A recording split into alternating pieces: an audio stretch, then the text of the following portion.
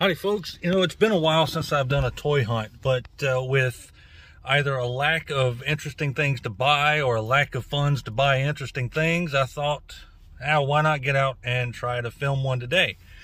First stop's going to be Target, then a Walmart, then another Target, then another Walmart, and we're going to see what's out there. Maybe I'll get lucky and find some early release of uh, Perceptor or something like that.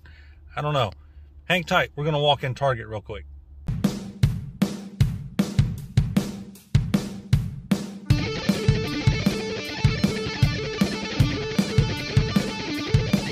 It's Kato!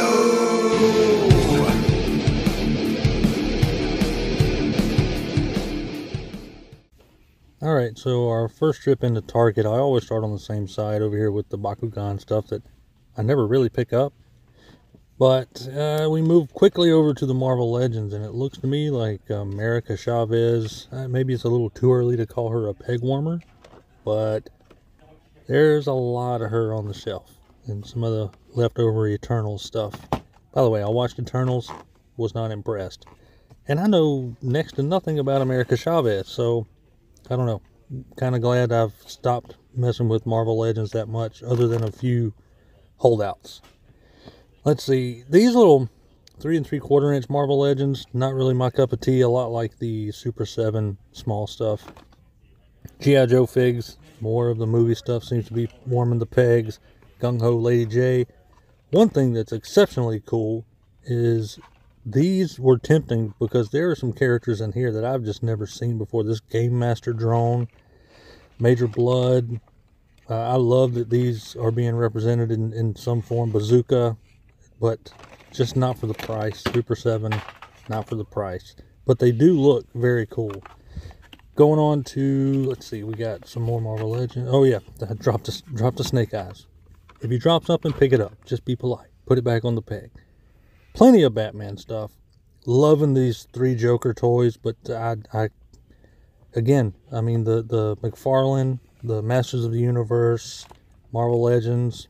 I just did a video recently on the prices going up on everything, and certain things have to take a back seat, and those are the ones that are doing it. Beast Megatron, fantastic figure. Tigatron, which I still haven't reviewed yet, plenty of those. And Sweeps, along with Wreck-Gar a few deluxes. You can see Black Arachnia there. Um, not anything new. Kup, not the new Kup, the old Kup. Um, but yeah, so nothing really new at this target. More Eternals figures warming up those pegs. Going around to the side where I normally take a look at the Masters of the Universe Jurassic Park. I love these Jurassic Park figures. They're huge. I mean, hats off to the, the fans of this movie series because you guys are getting some phenomenal figures. So I, th- I think they look great. This is more of the Masters of the Universe stuff that I didn't really collect at all. But I had a good time watching this series, this more kid friendly Masters of the Universe. I really liked it. The toys look super weird, but you know, I'm glad that it exists for people that want it. Clamp Champ, Buzz Off, uh, so many cool little Origins figures that again I had to back away from. Scareglow, glad I picked up that limited one. There's Andra. I seem to be seeing her on the shelf a lot. I hope she's not a shelf warmer. I think she's actually a pretty cool figure. And uh, Fisto, of course.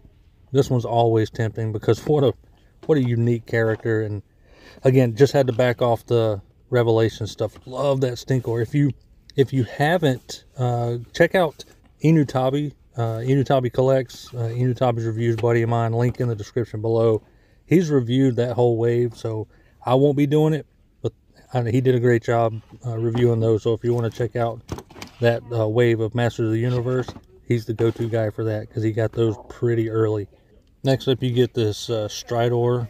Great looking figure. From what I understand, you can actually make that work with the Revelation stuff, but it wouldn't surprise me if we eventually get a Revelation scale uh, Stridor too. I think some of those would be awesome.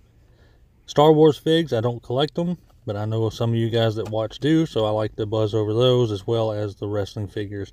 I am not up to date at all on modern uh, wrestling, whether it's WWE or um, whatever is out there, AEW. I'd like to get into that, but there you go. I just figure I like to show those for those that like it.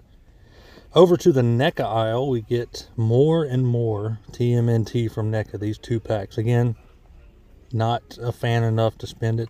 RIP Betty White. Love you, mean it. Awesome.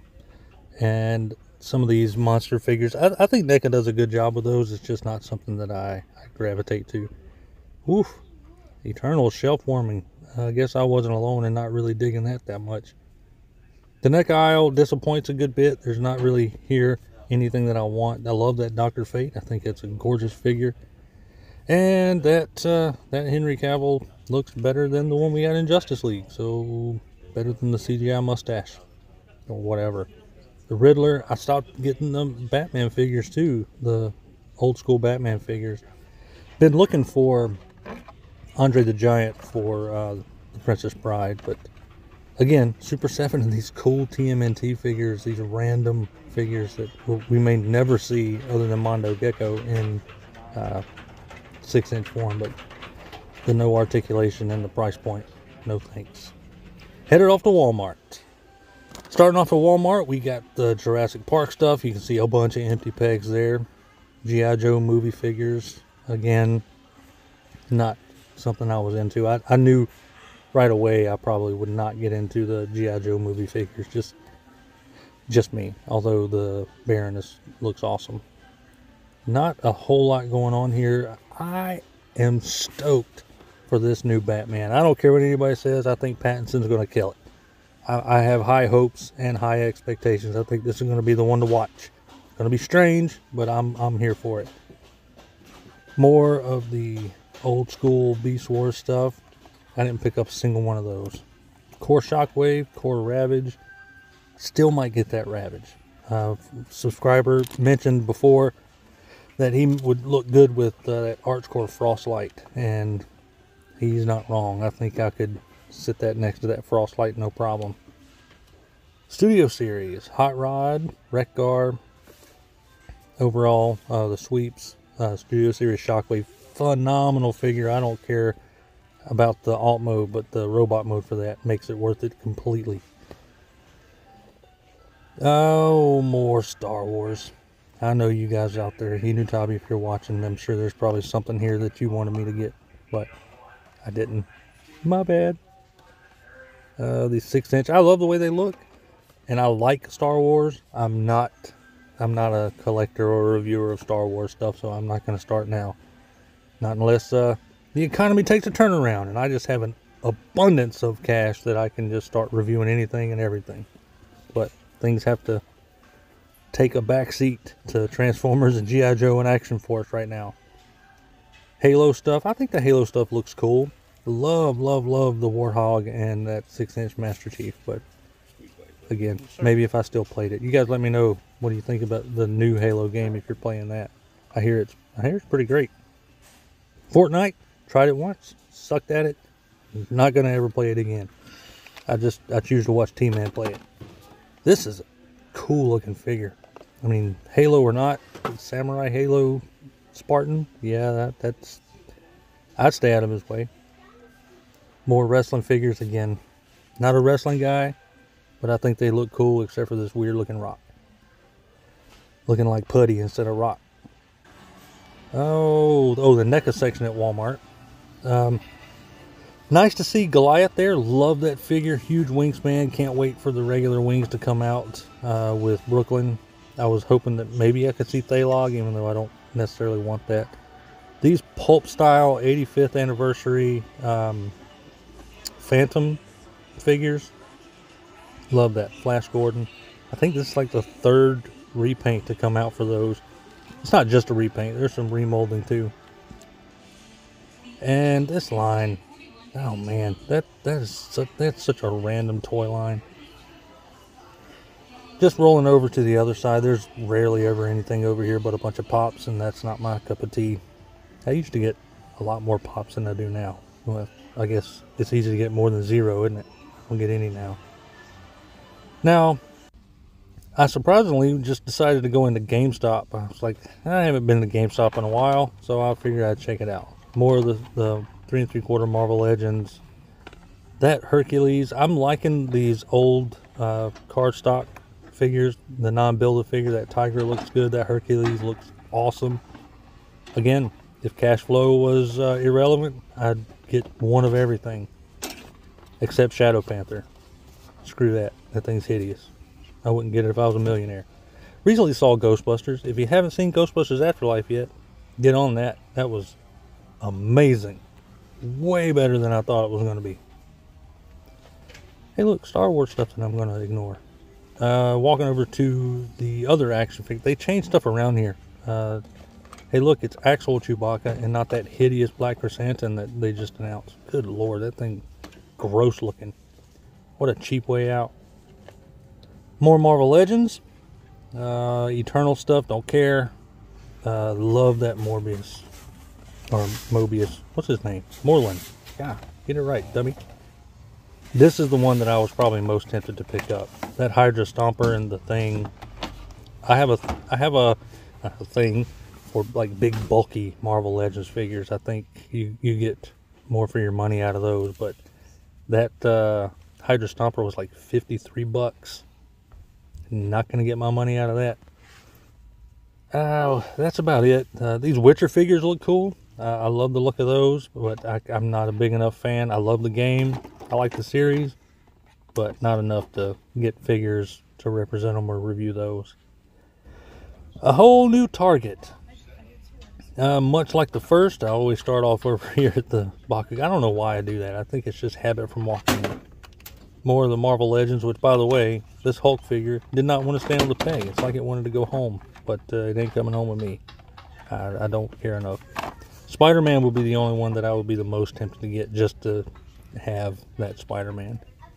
Joe figures, uh, Super 7, but not quite the selection that the other Target had. Gung Ho, Baroness. Uh, I think Snake Eyes might have been back there, the movie version. More of the DC stuff. Again, I can't wait for the Batman. Uh, I love how they're how they're kind of Batman year one, year two in this. So really looking forward to that. Studio Series Sideswipe and Kup.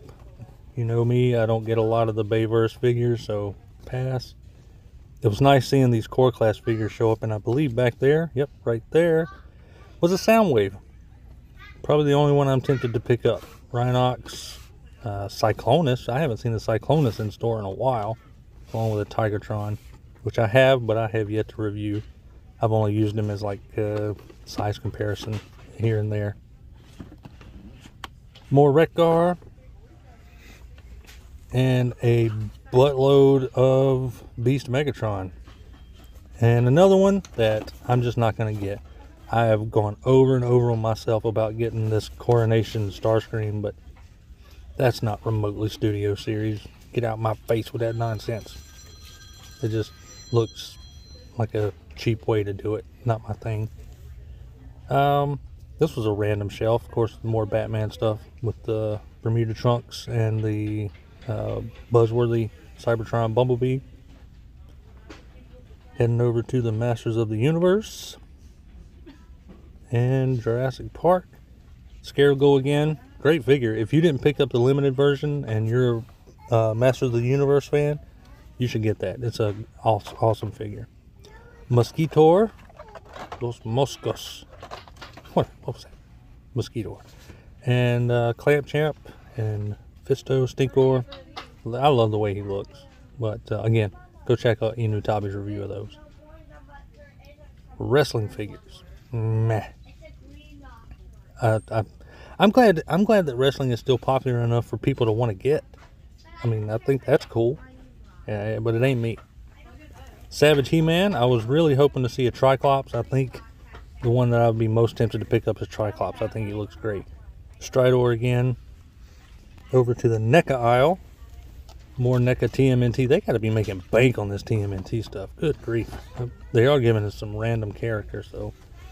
But I could easily see sinking a bunch of money into the NECA. And somebody let me know in the comments, what the hell is Misfits? That guy looks awesome and creepy, but I have no idea what it's from. Which is weird. I normally know stuff like that. More of the, uh, that's the other repaint or re retool or repaint of the um, Flash Gordon Defenders stuff. So yeah, that's I think that's the third of its kind, and I still haven't seen the previous wave to finish out the first set. So I don't know. Maybe they're not going to do it. More pops, more DC. The Witcher figures look good again. Just not my cup of tea, but I think they look awesome. The Batman stuff, you can see more Batman in uh, shark repellent Bermuda shorts. Another line that I gave up on. The Spawn stuff. Love those Super 7s. I mean, let me rephrase that.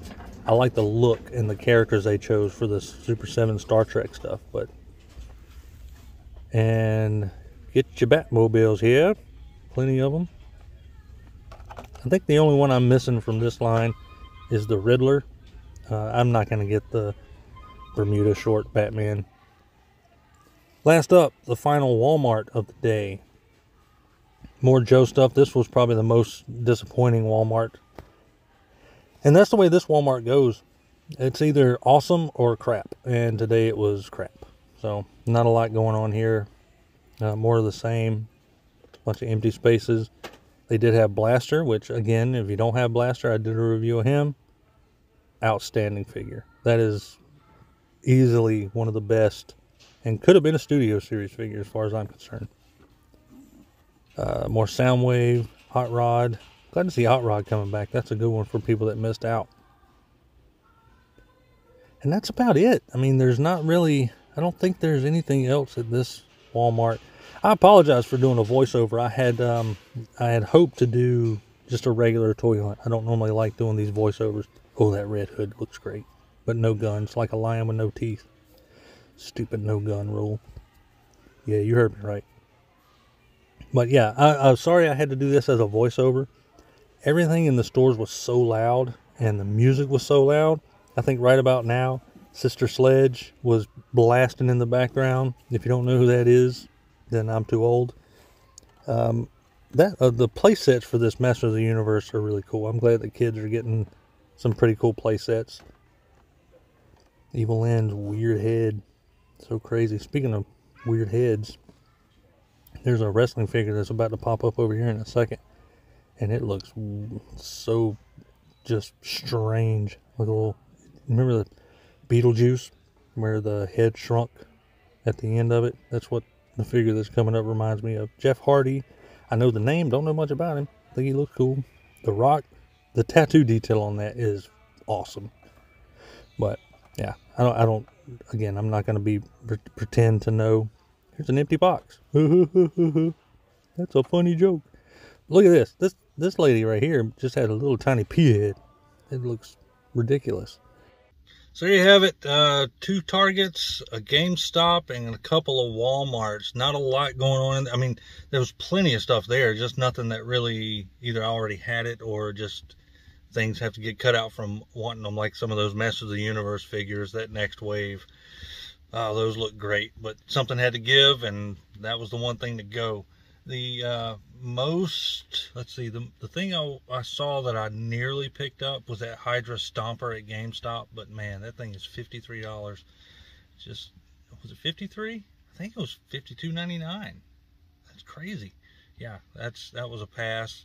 Uh, the Fantastic Four line, I almost picked up that uh, the thing, but overall, I mean, it was a money-saving experience, and the only thing I picked up while I was there was a massive headache that I got to try to get rid of. So, I appreciate you guys watching. Let me know in the comments if there was something there that uh, you would have picked up if you were me, or that you were looking for. But uh, nothing, nothing new from for the collection. Nothing new to review uh, from this haul, but it was nice seeing stores pretty stocked up. Guys, thanks so much for watching. I really appreciate it. Uh, if you haven't already, hit that subscribe button, smash that like button, subscribe uh, to myself and the other Rejecticons, Starter News by 82, Larkins Lair, and Enewtabie. All the links will be in the description below. And until next time, this is Kato signing out. See you around like a donut.